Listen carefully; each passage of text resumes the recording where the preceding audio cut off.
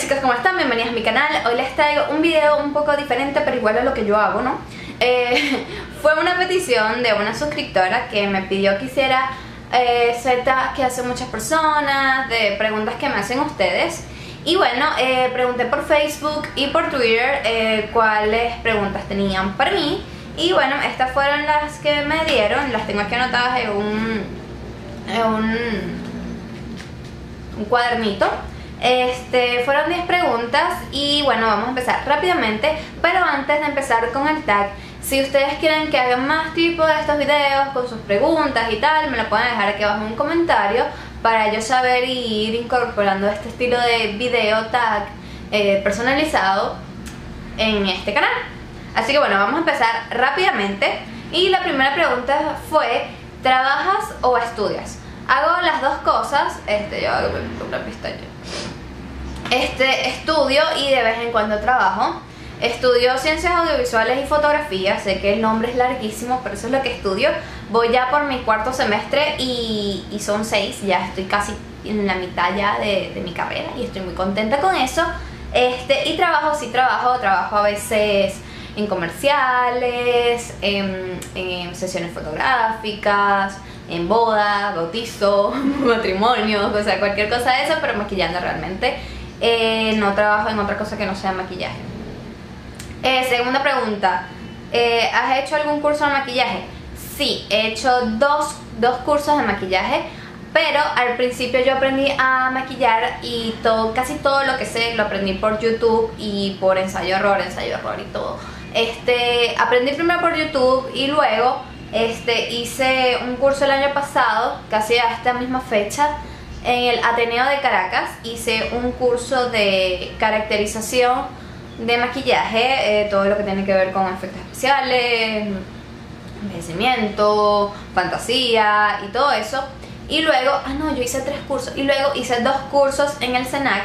El CENAC es el Centro Autónomo de Cinematografía Nacional, eh, que era de maquillaje de cine y televisión, uno, eh, uno y dos. O sea, fueron dos niveles y estoy muy contenta de haber hecho esos cursos. Aprendí de dos profesoras maravillosas y también todos mis compañeros eran muy chéveres, eh, pero realmente lo que es maquillaje social y eso ya yo lo sabía por YouTube. Eh, los maquillajes, los cursos, perdón, que he hecho son así como ya otra cosa como para lo que tiene que ver con mi carrera. Este, ok, eh, número 3, labiales mates o satinados no me gustan los labiales con brillos, que serían los satinados, pero tampoco me gustan los labiales mates. O, bueno, antes me gustaban muchísimo, pero los labiales mates que te dejan ese efecto así, mm, como efecto polvo, así muy, muy secos, a mí no me gustan, porque me, incomodan en el labio tener así como mm, labios muy secos. Este labial es mate, pero tiene como, es como cremosito. Ese labial mate, pero cremosito, ese es el que me gusta a mí. Ok, la, eh, pregunta número 4. Base de maquillaje que recomiendes para pieles grasas. Recomiendo la Color Stay de, de Revlon y la BB mm, Cream de Garnier que la tengo acá. la tengo acá, estaba haciendo un review de ella, así que pronto van a ver ese review. Esas dos me parece que son las mejores que he probado yo para pieles grasas y yo tengo la piel mixta. Y bueno, la quinta y la sexta pregunta, que es la misma pregunta, pero tiene varias preguntas, entonces la dividí en quinta y sexta, ¿no? Este, es la siguiente, yo que se me cae esto. Uh. Ajá, ya va, que me estoy desnudando acá. Ajá, ok, la quinta y la sexta. ¿Cuál es tu opinión sobre... No, ¿cuál es tu opinión acerca de María Alejandra Marrero y sus canales Make Localips Saison, Simpatuque, Make Local Tips. Y la sexta, ¿no? Porque no se unió a ustedes en los tutoriales de carnavales y en otros donde todas las demás gurús se conocen en persona. Ok, mi opinión sobre María Alejandra Marrero y todos sus canales, porque tiene como, tiene cuatro canales, me parece que le echa un camión de ustedes saben que no, este, porque no es fácil tener un canal en YouTube. y más tener cuatro canales y tener los cuatro relativamente activos no es fácil porque hay días donde yo sé que a uno no le provoca grabar, que está de mal humor, que tiene el periodo, que, que tiene calor, que la luz no le da, que tiene un granito, que, que simplemente no tienes inspiración de manejar, de manejar, de, de maquillarte porque aunque tú tengas la exposición hay días que las cosas no te salen, que es como que no tienes inspiración, como que las cosas te salen mal o sea, hay un factor grande de cosas, eh, que si la computadora, que si editar, que si dura tanto editando, que si tienes cosas que hacer, que tienes cosas de la universidad pero no puedes porque tienes que editar para el canal. Yo sé que, estoy hablando súper rápido, pero sé que no es fácil y de verdad que la chama le echa a, a, su trabajo, le gusta lo que hace, porque si no le gusta lo que hace, créeme que no tendría esto así. Creo yo que no, no podría si uno no hace esto con ganas. Y bueno, eh, ¿Por qué no se unió a ustedes en los tutoriales de carnaval y en otros donde las gurús se conocen en persona? Eh, lo de carnaval, lo de los videos colaboraciones que hemos hecho las venezolanas, no, no lo no lo he yo ay se me va la palabra no lo he organizado no lo he organizado yo y de verdad que eso fue un despelote lo que nosotros hicimos. Porque las chamas que estaban ahí, ustedes sabían que se, hicimos como un chat, ¿no? Y habían como un pocote de personas y muchas personas quedaron por fuera porque no las teníamos en nuestro Facebook y otras personas se nos olvidaron entonces era como que teníamos un tiempo muy limitado para hacer las cosas, entonces no, pero tenemos que hacer esto, pero no, ponte tú acá, pero tú tienes que poner esto en tu canal, después no, tú tienes que poner el video de colaboración, video respuesta en este, video de respuesta en otra, y eso fue un despelote y sigue siendo un despelote, mucha gente quedó por fuera, quedó por fuera eh, gente que se nos olvidó, como María Alejandra, como Marisela, como Celeste, como Sam, como Kat, o sea, fue un montón de gente que se nos quedó por fuera, me pica aquí, que se nos quedó por fuera y estamos intentando hacer más colaboraciones e ir integrando personas que este que sean venezolanas, porque queremos que todas nos unamos para hacer varios canales y que haya como esa fraternidad toda chévere, pero es que no es posible que todas se unan porque unas o no contestan o no tienen tiempo o mira no tengo cámara, estoy ocupada con el trabajo, entonces es complicado que todas, todas, todas, todas estemos ahí para ustedes, así que perdón por esa. Y bueno, este, otra pregunta, que es la misma pregunta, ustedes ya, ya les he dicho como tres veces, este... Y en otros donde todas las demás gurús se conocen en persona. Yo sé que ella es aquí también de Caracas y nos hemos reunido varias chamas, no sé qué, pero es que es algo muy improvisado. Por lo menos, es algo así como que, hola Irma, em, ¿tienes algo que hacer mañana? No. Ah, vamos a preguntarle a Rebeca. Rebeca, y Rebeca es de Maracay. ¿Tienes algo que hacer mañana? Ay, no, puedes venir de Caracas. Ah, bueno, sí, vamos. Entonces al día siguiente pues, nos reunimos y ya. Eh, o por lo menos con, con lo, de, lo de Carmen mira, voy a, ¿dónde nos, no, ¿dónde nos vemos? Eh, ah, bueno, sí, vamos para acá. Entonces, no, ya va, falta Carolina, pero ¿dónde está Carolina? No, Carolina está en el milenio. Ah, bueno, vamos al milenio. Dimos como tres vueltas y, es todo un despelote, es así como que todo improvisado, así como que, ah, sí, estamos aquí ya, chévere. y, no, realmente no es nada organizado y yo sé que esa chama es full ocupada y posiblemente tal vez no pueda, o tal vez sí pueda y, y no sé, realmente no sé.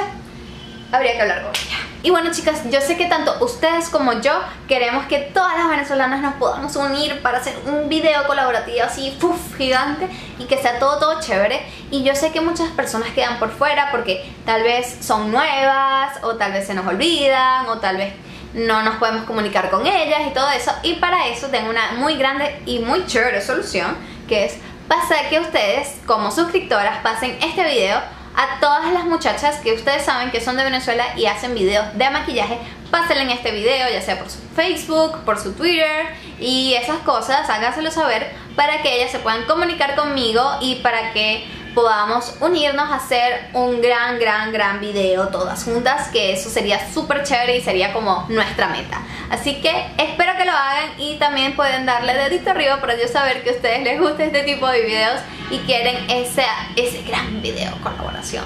Que prometo, ojalá se pueda hacer todas, todas, todas juntas. Ok, pregunta número 7 y es la de...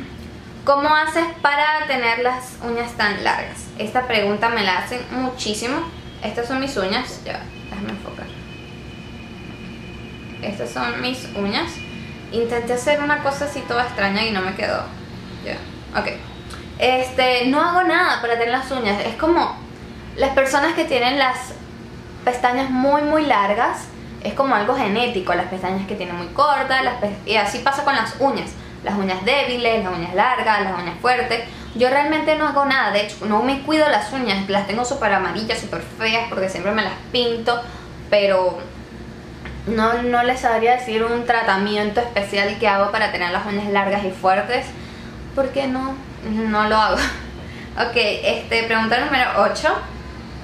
¿Cómo te ha ido con la biotina? Yo estuve comentando, esto me lo han preguntado ya como dos personas, este, yo estuve comentando en el hall de enero cuál era mi, eh, que yo empecé a tomar biotina. Biotina es una vitamina que tiene ese componente, es ese componente estrella del champú de caballo, pero estuve leyendo y la biotina no entra en nuestro cuerpo si no es internamente, o sea, no funciona si no, no las tomamos, así que yo empecé a tomar biotina no para que se me crezca el cabello, sino porque se me estaba cayendo mucho y la caída del cabello ha frenado muchísimo y me ha crecido considerablemente el cabello.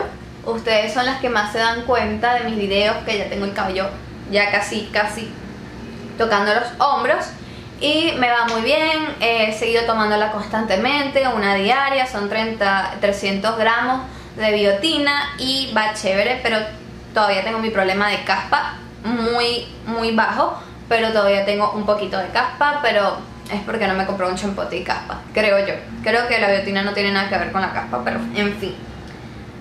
Pregunta número 9. ¿Por qué me llamo Sinaid? O Sina, Sinaid, como se debería decir, ¿no?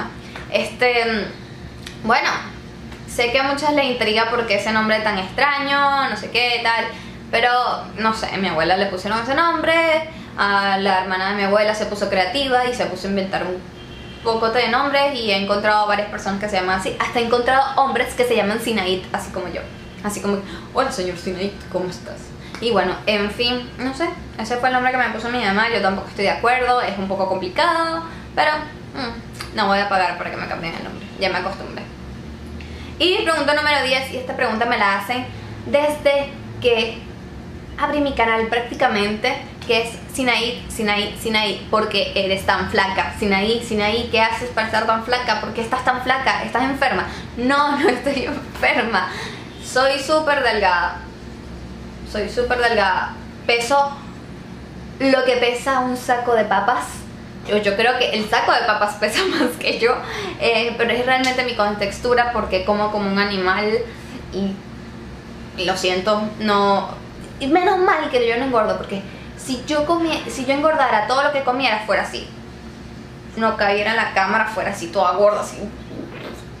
Y bueno, eh, sí he intentado engordar, he ido a nutricionistas, em, eh, me han dado dietas de proteínas, de menengadas, de, de comete esto con esto y lo único que me falta creo que es tomar antialérgicos y a mi mamá una vez se le decía y no funciona. Pero es que mi mamá igual es, igual de flaca que yo, mi papá es flaco y, yo, resultado de un flaco y un flaco, otra flaca. Otra flaca y tranquila chicas, no estoy enferma, no vomito, detesto vomitar. es la sensación más desagradable que hay, sobre todo cuando uno come mucho. Asco, este, pero no se preocupen por mí, así que yo soy así, eso no es que me pase algo grave. Y bueno, ya, se terminaron las preguntas. ¡Uh! Eh, si quieren ustedes más preguntas me las pueden dejar aquí abajo en un comentario o ustedes saben que ustedes me hablan, yo contesto, siempre ando ahí en lo posible contestando todo. Les mando un beso gigante y nos vemos en el próximo video. Chao. Ay, y se me olvidaba decirles que si quieren un gatito yo estoy adoptando, bueno, estoy dando en adopción a dos, uno que es una que es negrita, que tendrá como dos meses, tres meses máximo, y otro que es macho, es como un tigre, y es más o menos como de 8 meses. Ahorita le va a pasar un clip de, para que los vean, no están en mi casa, pero los estoy adoptando, no los puedo tener ya más en donde los tengo ahorita y me gustaría encontrarles un hogar. Así que si no los pueden adoptar ustedes o conocen a alguien que los quiera o que necesite un gatito, me avisan, me escriben por, por privado o por mi Facebook que yo les estaré contestando. Me quedo dormido, qué gato tan cariñoso, tan flojo, Y esta gatita, nadie esta gatita, esta gatita de acá. Ya, ya, dar un besito a la cámara. Un besito, esta gatita. Uy, sí, que está acá, recién comida, ya está full esa gatita. Juega conmigo. Uy, sí, es muy feroz esa gata. Muy feroz. Muy feroz esa gata. Miau.